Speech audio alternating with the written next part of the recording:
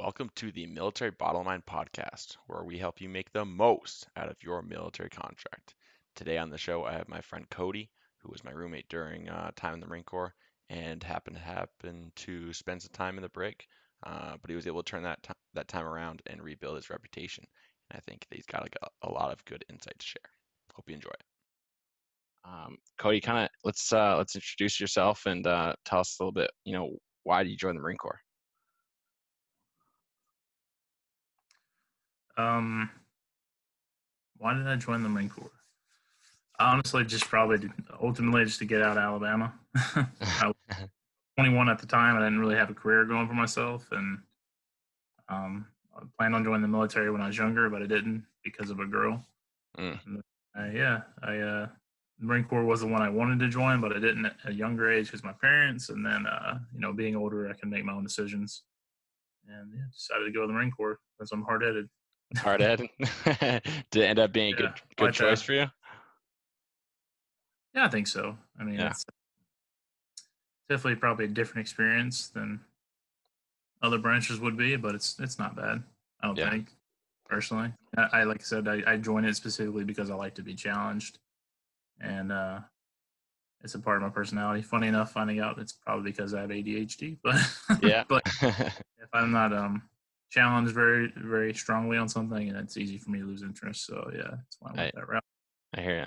And you said you, more challenging. You joined at 21. You said. Yeah. Enlisted.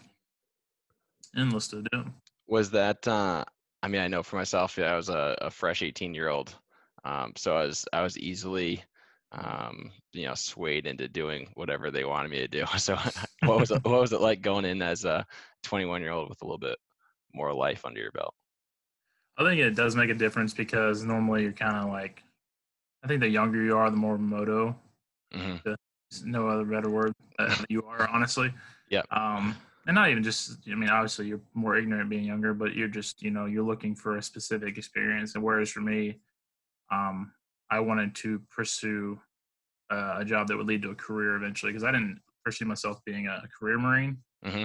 And so um, I had a decent ASVAB and so I talked over the options.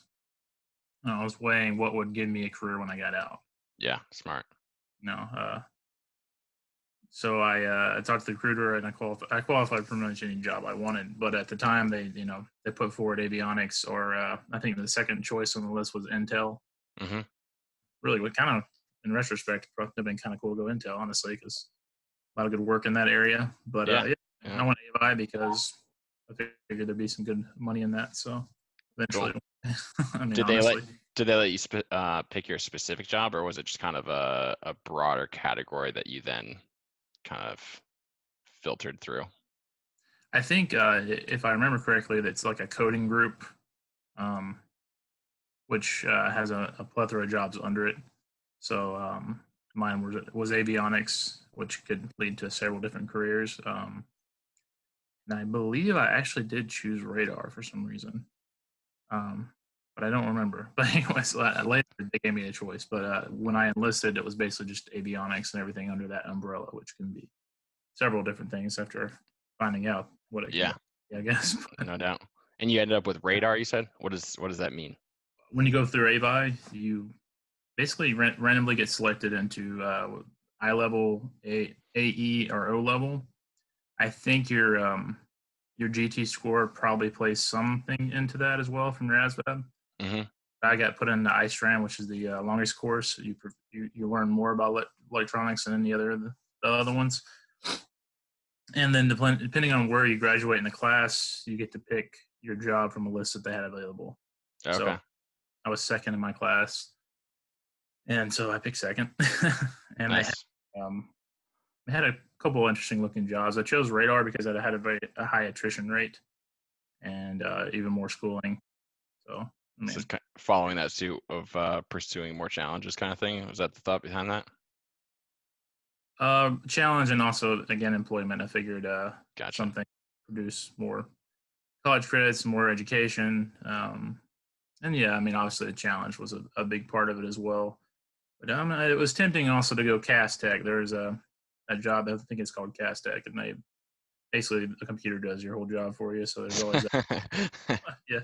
no, I um, and also um, I mean, just being honest, I was I was still I was still twenty. I was twenty two at that time, I believe, and it meant I'd stay in Pensacola for nine more months and Mm. have liberty. So I mean, all the Gotcha. weight into the decision, but you know, that's that's how I end up in the radar. So Gotcha. Cool. And it uh Yeah. it took you out to California, right, Pendleton? yes, it did eventually. I, I got my orders. Um, same thing. Most most I think Marine Corps schools do that. That you you get the you know your wish list of a region, you know, East Coast, West Coast, overseas, and then they put you on the one you least want to go to usually. really? Did, did you have a preference? You weren't Yeah. you weren't hoping for California?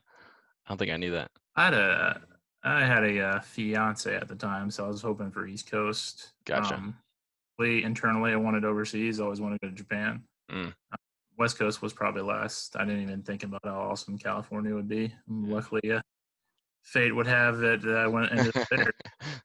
Uh, yeah, could have been worse, right? yeah, definitely worst place to be in Southern California for your duty Yeah. station. Yeah, yeah no doubt. Huh. Yeah, I know. Um, you know, I don't definitely don't want to touch on any sore subjects, but I know that we we met uh right after right after you got out of the brig. You ended up in the room right next to me, and uh, Oh yeah, you're the only person that I know that's ever been to the brig. So, um, it's it's definitely I think a unique experience that I wouldn't say people should strive to uh experience, but it is uh it is a whole different part of the the military that does exist, and uh, kind of Yeah. curious to what your experience in that was. there's a lot of rape. No. Don't drop the soap. no, don't drop the soap or your toothbrush or no. Um, that's just the guards. No, uh, it's uh, it's honestly it's like babysitting. Yeah. Um, and you know, I went into pretrial, so I don't know. I can't tell you what Leavenworth or like an you know a higher security brig would be. Um, Let's just be straight. This wasn't for war crimes or anything crazy like that. no, no, no. Yeah. It wasn't for war crimes. I didn't kill anyone. Although there was actually some people in there for pretty serious things. Okay. Um, they a lot of times get end up separated once everyone found out what they did. hmm some guy killed his baby. There's a child molester in there. Like those kind of people would end up getting separated for their Yeah. safety, I guess. Safety. Yeah. Um and uh but most people were you know AWOL or popped on drugs or something. Just their unit just got mad enough at them to put them in the brig and didn't realize that most of the time the brig's actually easier than restriction.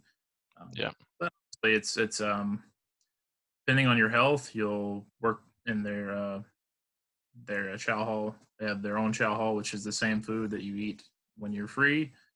And then uh, every other day you work uh, in the chow hall three times a day. You make the food and then you serve it to the other um, detainees. Gotcha. And so and everyone gets fat there. Pretty much it. You're still getting paid. Days you Yeah. yeah yeah because it's pretrial. You actually haven't had any punishment yet. So you're still getting full pay at that point. Sweet. so Um, it's just stacking stacking bills, huh? Yeah yeah. You don't have to spend any money obviously. yeah. um you know and it's it's still i mean it's it's it's still it has its problems i mean the the water's pretty dang cold and no pressure and with a single bladed Bic with no sh- uh, shaving cream's pretty not fun Yeah. you know everything's pretty clammy and cold it, you have like basically have the wool blankets from boot camp Yeah. But, Like the AC, I remember the A- it was winter time. The AC was supposedly broken the on position, and it was so it was pretty most of the time. And the only nice shower they had was in the end dock uh, cell bay. Huh. Every, all the rest of them were like we- we had like um Q-tips plugging up two of the uh, the the, the nozzles so you could have more pressure. No kidding.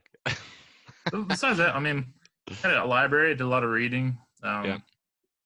Said your off days you could sleep all day or watch TV or play spades. Yeah. I mean, it's probably it's I think it's significantly different than regular prison because you still have the commonality of everyone in there is a marine. Interesting. So- Yeah. I mean, it, it's just, oh, go ahead. There are no uh there are no like courtyard fights or anything like that breaking out. Uh, there's some close stuff. Yeah. Um, they tell you um basically it'll add on to your sentencing, so most people Oh, interesting. reel it. Um, and again, like most of the time, you're pretty cool with everyone for the most part. hmm Uh, most too busy being pissed off at the guards to be mad at each other. Yep. Common enemy. Because when you have a PS, yeah, when you have a PFC or, or a private making you address them by their rank, it's kind of um, unsettling to some people. I mean, we had a a, a staff sergeant recon guy in there, and sure enough, like the the you could just see the power that some of the guards would feel being Yeah. able to degrade him. Yeah. Um, it's just like, yeah, and unfor- that's unfortunate, but it, it is what it is, you know. I Mm. mean, How do you how do you feel like your your time there um, influenced uh, you? Like once you once you got they let you back out and you're kind of still you know still in the Marine Corps. Did it change you much, or was it is it just kind of like, well, another day. Now I'm just going to my my old radar job like I was before. Uh, which time? You know, I was in twice, so. Oh, Obviously, the first the first first time didn't change me very much. I, I may have uh, I may have forgotten that detail. Um, Well, I I, I guess you know maybe it, if it takes twice to uh, to learn whatever lesson they wanted you to learn. Uh, I guess the second time around, like Um, did, did it uh, did it change things for you, or I mean, how how did that kind of play out? I would say no because I had changed before.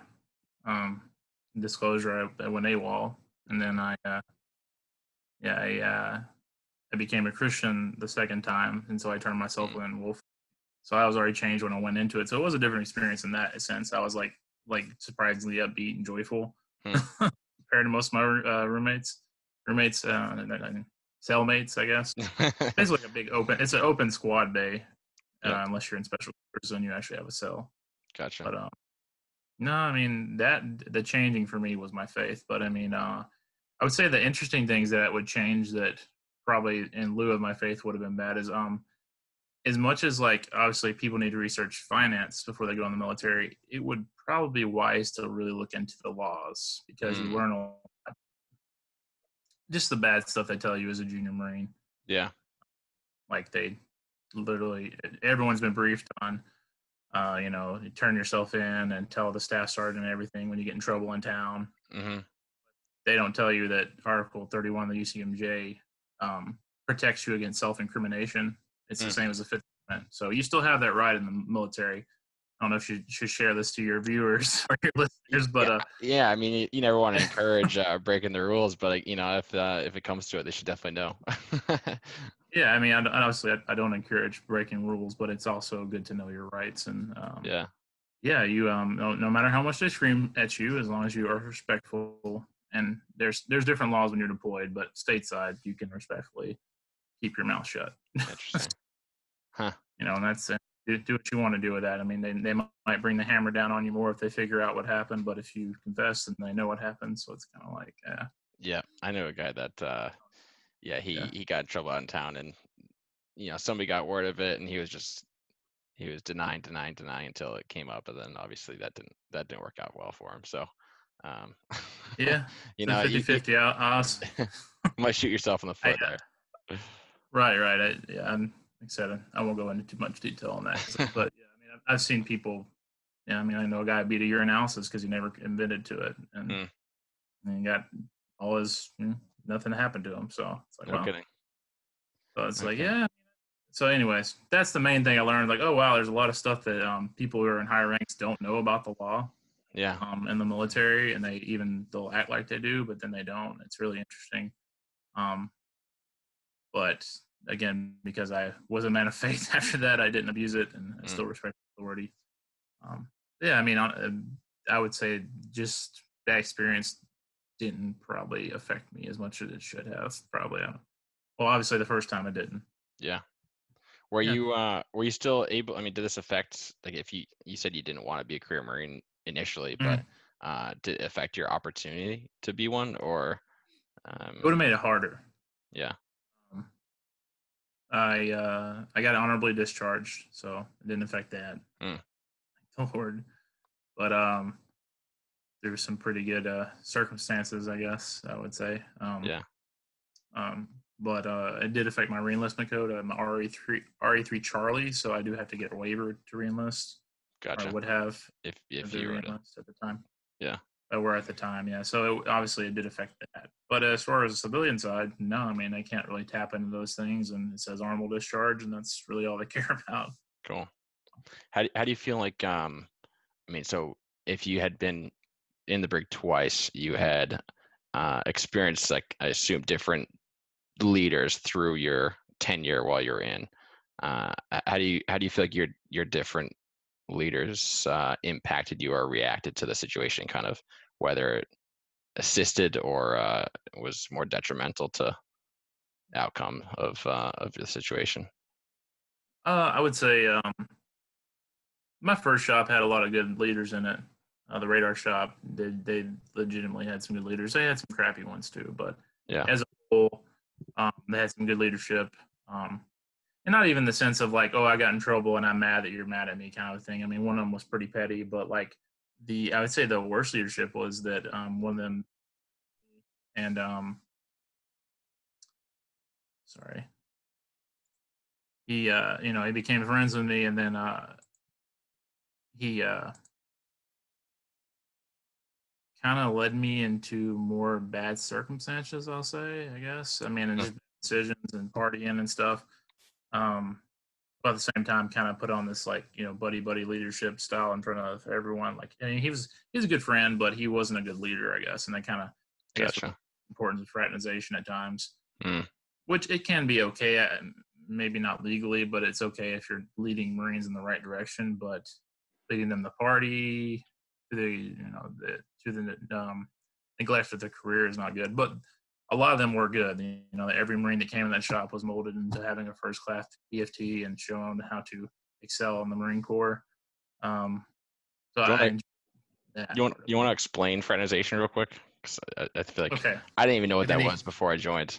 Um, and I was surprised that any civilians listening or Yeah. any or any uh, guys that haven't been in yet um basically it's um befriending or close relationships with people of a technically it's uh, i think by the legal terms it's uh, i want to say staff nco or officer but um really if anyone is outs well outside of your your rank probably could be classified that way. I mean, again, I'm, I'm not n- strictly speaking in the legal sense, but in the in the sense of like the way work is supposed to function is if your boss is becoming your best friend, it can really be bad. gotcha. So if they can show favoritism hmm from, which honestly I don't think he did, uh, is more like making it okay to live a certain kind of way, and then like putting on the, the face when you get to work. The problem was you can only play the good guy and the golden boy for so long before you get caught up. You know what I mean? Yeah, yeah. Honestly, yeah, he eventually got caught up too. Hmm. So um, would be And- and, you know love the guy, but I know I know like depending on where you're what job field you're in, fraternization is kind of like you know it's more based on like the combat role where they don't want an officer or a staff, you know, NCO Right. sending sending some guy that they're not friends with into a, a sketchy situation instead of you know their boy kind of thing. So uh, obviously that's Right. why the rule and the law exists, uh, but it exists like Marine Corps wide or military wide, uh, regardless of what your job is, even if you're not going to get in that situation, you know. yeah, it's not always followed, but you know, Yeah. when yeah. you know, like I said, I go I go both ways on it. I think it's it can be. It's not necessarily bad to develop a good rapport with your subordinates or with Mhm. your, you know. And honestly, like I said, uh, the best leadership I had was the second time around when I was kicked out of the radar shop. I ended up in logistics. I worked for the S four shop. Oh yeah. Yeah, we had a uh, Mustang captain come in. Um, phenomenal Marine, just like the like he's the kind of guy that, that Marines, you know, they'll say your leadership will determine if you re-enlist obvious off, often. Well, that or if you know you get married and have a kid, yeah. If you're not Um, prepared, yeah. if you're not prepared, which is most young guys, Yeah, and girls. Um, but um, yeah, I mean, the dude was just like he didn't hold my pass against me. He said, you know, you've done your time. If you work hard for me, I'll I'll do the same for you. And he just, you know, Hmm. he knew how to mo- motivate Marines, and um, yeah, he just I learned a lot from him. Yeah. So Yeah, good him. definitely definitely a game changer. I think. uh I mean, leadership definitely influences, you know, pretty much your whole uh your whole tenure in the military. And, you know, if if you got Yeah. bad leaders, it's gonna be a miserable, uh, miserable, Yes. miserable couple of years. Um, but the opposite can be true also if you if you do have you know solid people to look up to and that are that are influencing you. So Yeah. um, yeah, that's awesome. Sure. But even with him towards the end, he didn't he didn't make you want to stay in, huh? Uh, I had some thoughts of it, but Yeah. no, I mean, I said I never intended to be a career Marine. Yeah. um, and, and I thought the idea of it probably being pretty substantially hard for me to reenlist. I mean, I'm obviously not impossible with a waiver, and who knows, I might have got one because of the whole command was pretty much liking me at that point. Yeah. Enough. Um, but, uh, yeah, I remember that. Um, yeah, and then a lot of that had to do with me working the force shop and them seeing me be a different person. Um, Yeah. But uh, and then honestly, my my captain had a lot to do with that too. Hmm. But um, no, I couldn't see myself doing it as a career though. Honestly, at that point, not you know not to knock it if anyone else would have wanted to. There were some different, definitely some things I would have done differently. Obviously, besides the horrible crimes I committed, but the there's a lot of I uh I squandered um that would have been better used for my future. Honestly, I wish I would have had the sense to do. Mm. But yeah, fast. Yeah, I mean, I, I think that uh, I mean, you've been out how many years now? Was it like five, Um, no, it'll be seven in November. Seven? Wow, that's wild. Time flies, man. Mhm. Um, in in hindsight, Time I mean, flies. what do you what do you wish you knew? You know, if you if you could tell your your younger self on your way into the Marine Corps, other than don't go hey, AWOL. yeah, other than don't go AWOL, um, you know, things that Uh, you yeah. wish that you had done better, maybe like, uh, I would say, like in the you know to the theme of your podcast, um, uh, I would have uh, pushed more deeply into tuition assist or TA and like done some schooling on the side because there's you have a lot of downtime in IMOS. Yeah. Um, for radar, most of our workload was done by Wednesday, and that's why honestly that shop put out a lot of meritorious corporals and sergeants because there's like two and a half days a week where you don't have anything to do but train, you know, make map and do and you have, um, you have a night shift too, right? Which means like even less is Right. happening then, you know. Um, right, yeah, yeah. So they had those those opportunities, but even before that, I would say, you know, um, you know, you have a lot of fun, you make good memories partying, but it's like, man, there's Yeah. so much money. I, I would I would actually probably crap myself if I could go back and tally up all the money I just wasted drinking stupid stuff. And Yeah, it's like, it- It is. Uh, it's just wild. Like I remember, you know, people pointing out to me when I was new, like being able to tell when it was payday weekend versus you know the off the off weekend and how many people would be in the gym or hanging around base uh, because on payday weekends people would just be out Mm-hmm. spending it you know and it's like man And when you see all the freaking Domino's coming to everyone's there, I mean, or wing zone or whatever. yep like that kind of frivolous stuff and you know and some of it's not just i can't remember the name of the book but uh, there's like this theory that um, people from well-off families are not just well-off because they inherit money but they inherit habits that their parents instill. Definitely. And I'm more um i wouldn't necessarily say we were poor but we were on the borderline you know Yeah. had, you know hand me down clothes. I, I i say it like this i've never gone without a meal but my parents have so I- Hmm. um but they also didn't know how to manage their money well do you so- feel like it's i mean can, can, those, can those habits be learned or uh, do you feel like uh, it's already instilled in you I think any if you have a desire to learn, Mhm. absolutely, you know, absolutely, and you know, I'm, I've learned some of them. It's still harder. Some of Yeah. that's I mean, funny enough, it, not in a ex, excuse makings, but I mean, some of it is having ADHD does make financial things harder in a lot of ways. yeah Anything along that line, really, um, anything that has to do with executive function can be harder. But I mean, that's the beauty of having an awesome wife who's great at those things.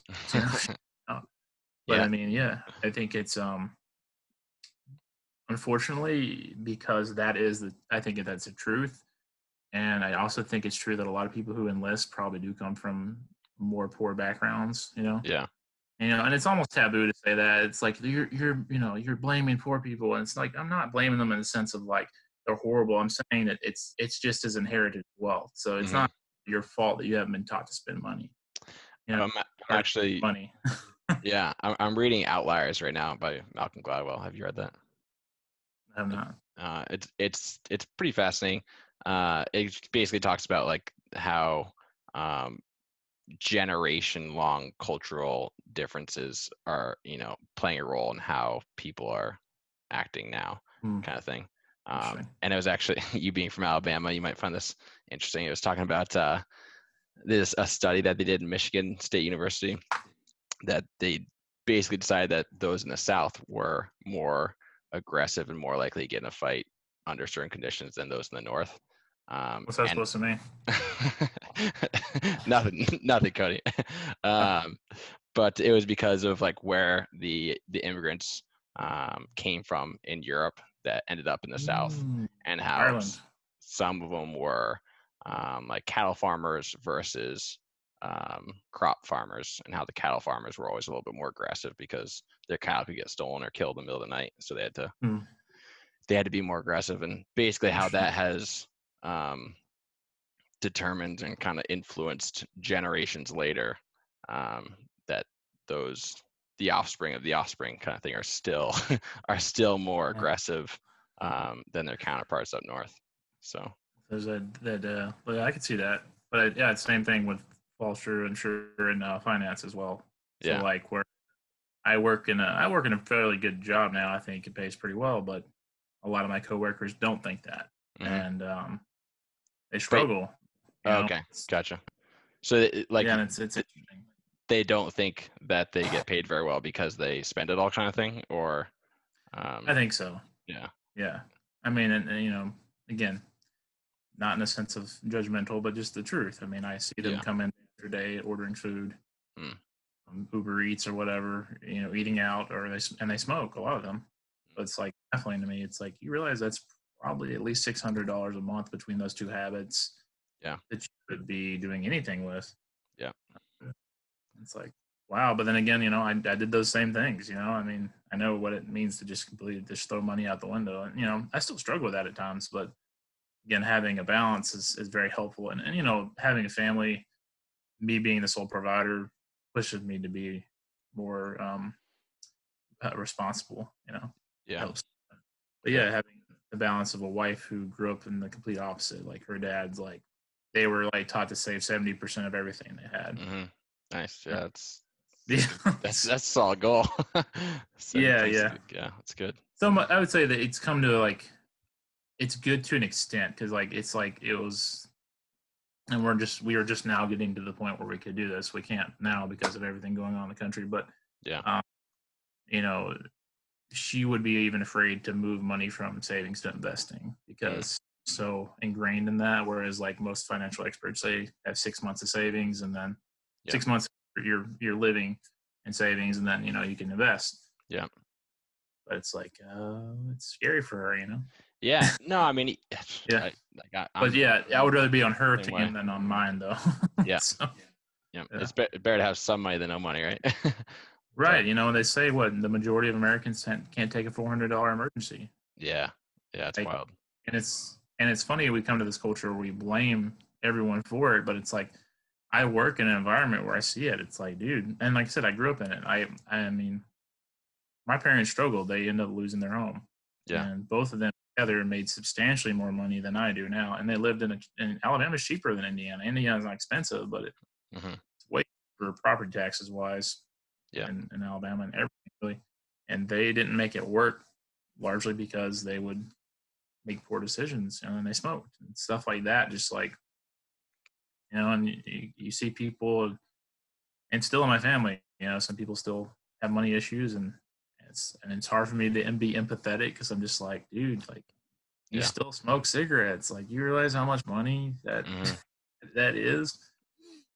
I think so, one of the, the biggest um, things that influenced me was like, you know, and when I ended up getting a job that, you know, after the Marine Corps that wasn't wasn't fond of, or even before the Marine Corps, just realizing that, all right, I make X number of dollars an hour, um, and I want to go out to dinner, and that's like that's me working this job I hate for two hours to go pay for that dinner. It's like, man, that's not worth it. Like, I'd I'd rather you know eat some trail mix kind of thing. Um, yeah.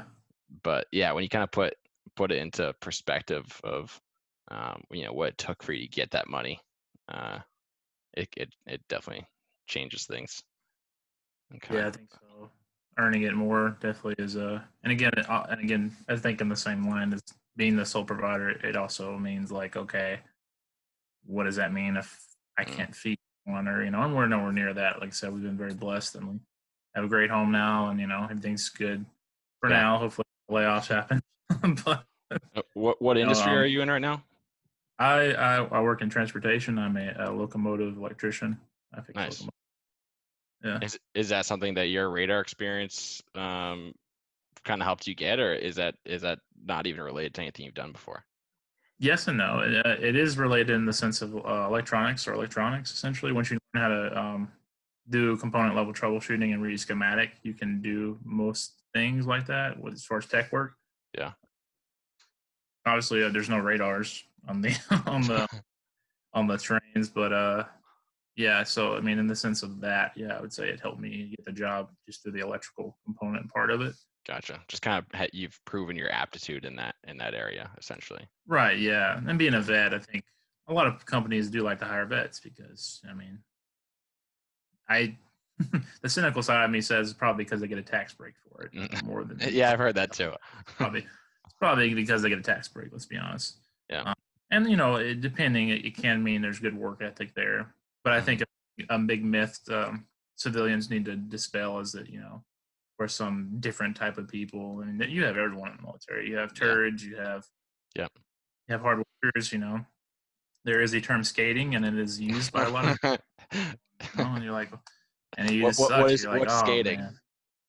Skating is a reference to skating through life, skating through your job. It means you're just breezing through your enlistment. You know how to avoid every hard thing. Like you know how Yeah. to like, avoid formations. You don't ever volunteer for anything. You, you know, you, you stay in the background, and uh, you know, like you know how you know where all the good hiding spots are at work. You know that kind of. yeah, Um, you- you're the guy that always walks around with a clipboard, looking looking official, but not really doing yeah, anything. yeah, yeah, exactly. You know, you know how to get you know how to get by and not do anything really. Yeah. Is it uh is it possible to still get promoted and uh and do well while excelling at skating? Or do the skaters typically um you know uh, like does that prevent them from getting promoted?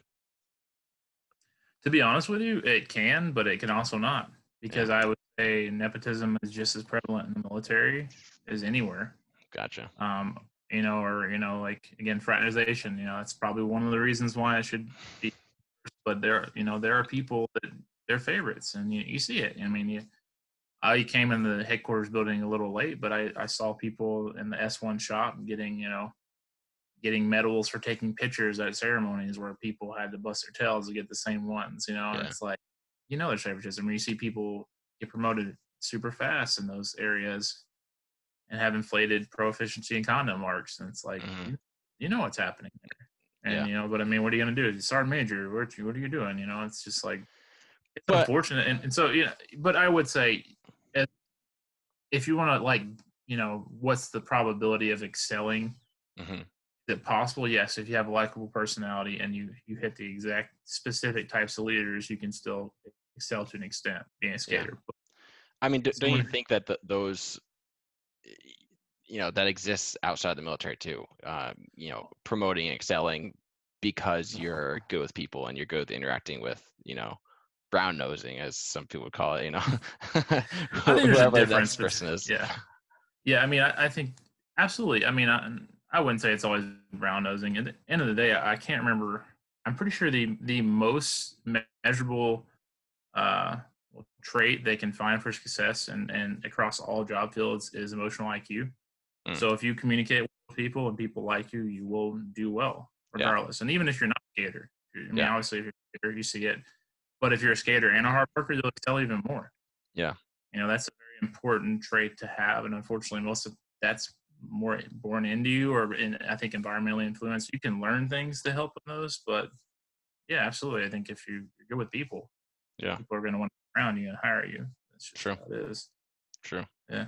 Regardless of whether or not you're actually good at anything other than other than communicating, but that's a worthwhile skill too. So Right. but awesome. It is. Yeah. Cool, Cody. Well, um, yeah, I mean, at you know, at the end of the day, uh, what was it? Five years for you? Yeah. I did five years.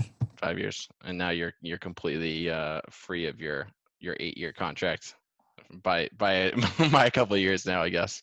I'm very thankful right now. I don't know if you saw the executive order that got signed a few days ago. I did see that. I, th- I think that was only for um, medical, like. Yeah, it you know, is Okay. yeah. Other, yeah. very specific. I, haven't gotten a call. For so- now. For for, For now. yeah, we won't we won't get into any of your conspiracy theories or anything like that. but uh, awesome. Yeah, oh, you're already in them, man. No. Um, yeah, right. Um, yeah, anything you would tell those that are uh, you know beginning their journey? Um, movies, action movies are great, fun to watch. you know, but even if you want to go that route, be you know ground side and infantry, special forces, there's probably a lot more annoying things than fun, cool things you see in movies. Yeah. a lot more scars to carry at the end of it too. From not my personal experience, but people I'm really close with, I've seen. Um, I highly recommend pursuing a career in the military that you'll enjoy, but also when you get out, will have a, the fruit of having another job that you can sustain yourself or a family with.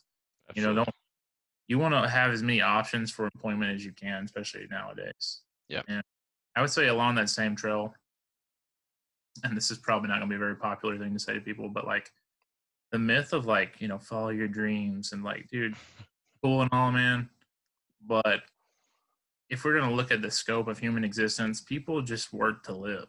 Yeah. And so for me, being a good father and a good husband takes precedent over everything but my relationship with God, you know, Yeah.